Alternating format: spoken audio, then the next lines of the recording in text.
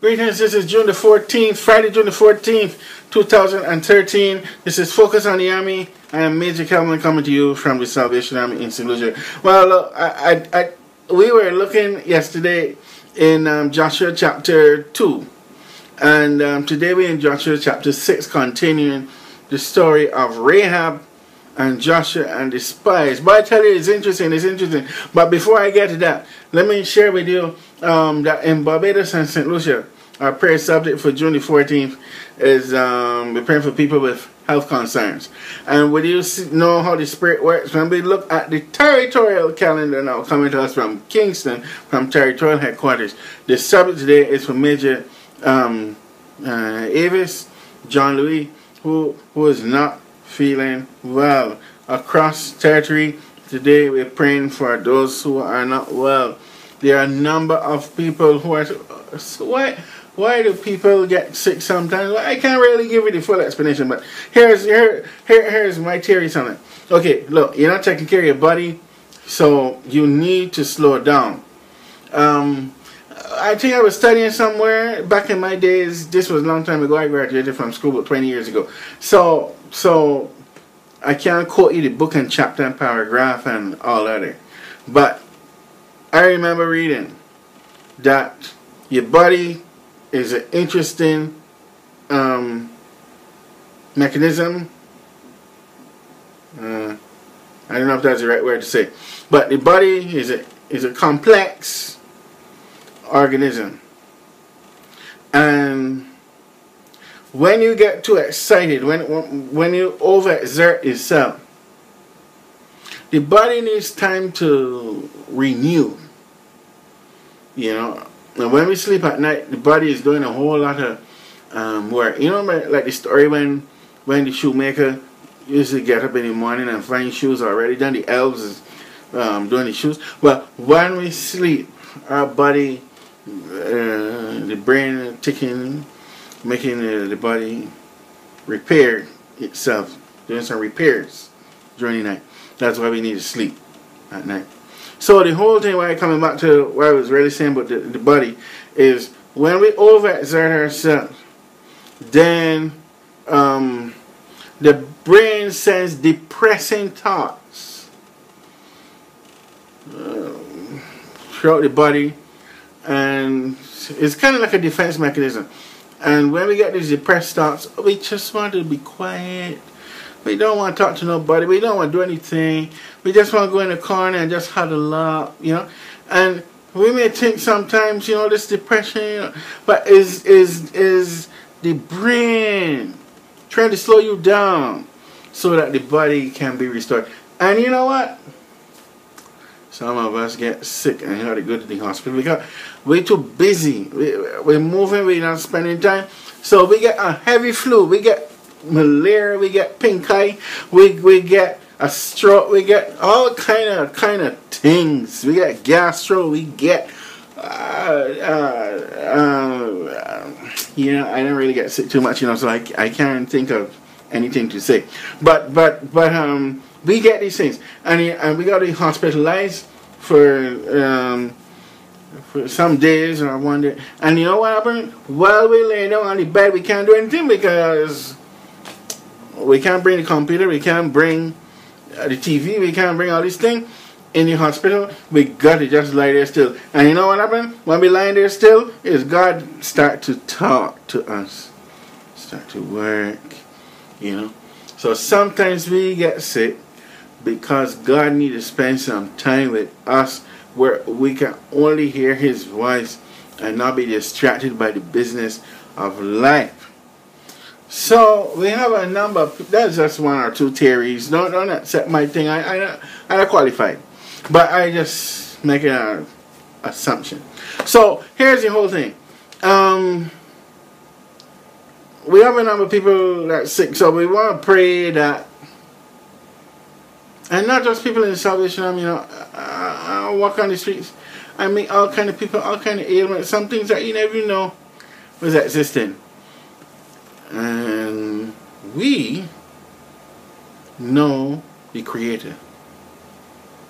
And He can touch anybody because He created the body.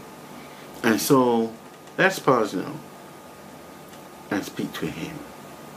Heavenly Father, the Creator of heaven and earth, the sun, the moon, the stars, the rivers, the waters, the vegetation, but more importantly, the Creator of man. We pray that you reach out now, Major Avis John Louis,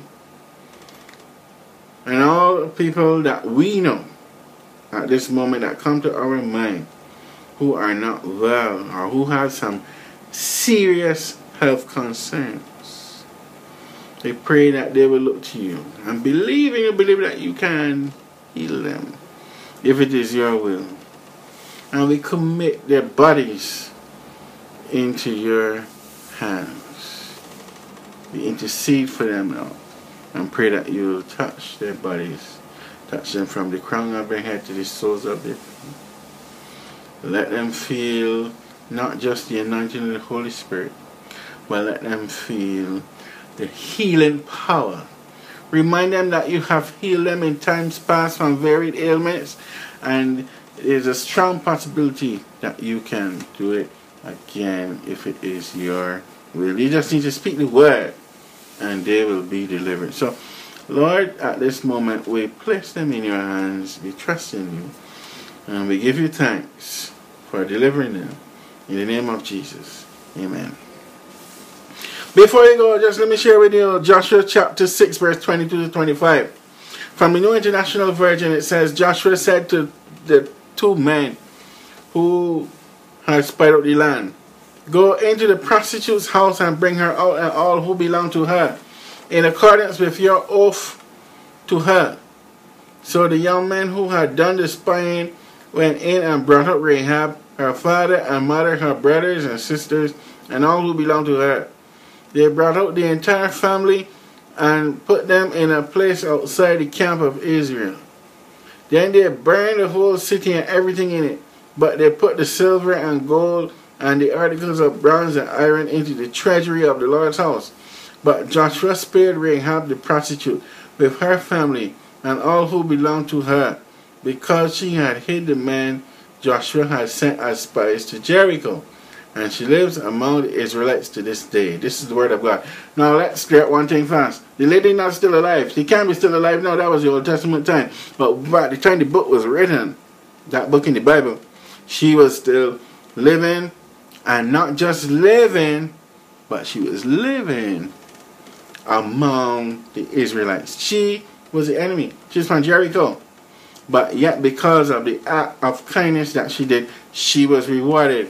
Comes back to tell you again, God is working in our situation. God will deliver us if we uphold the commands that He gave us. Rachel was told to hang a scarlet rope from from from the string from the the window that the guys delivered, bring a mother, father, sister, brother, the cat, and the pet fish, and the dog too, and put them in the hole. Once them inside there, they'll be covered and delivered. We see the scripture being fulfilled from Joshua chapter 2. Now we see it being fulfilled in Joshua chapter 6. It says he's sending men, go in the house. Look, the men marched round the walls of Jericho, round the walls of Jericho. When the people gave a shout, the walls fell flat. Everything was crumbling all around. And you, you think Rahab was moving? Maybe she was frightened, she was trembling, everybody in the house screaming, pet fish jumping up and down in the water. And, and what happened? The promise was, you'll be delivered if you stay put.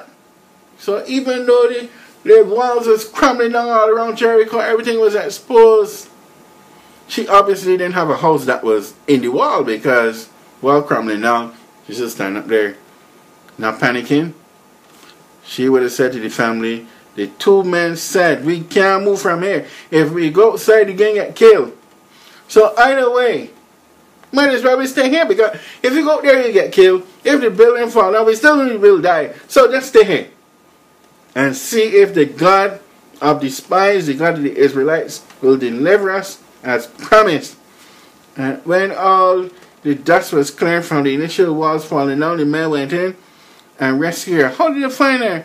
By looking for the red scarlet string that they set out the window. And so she was delivered.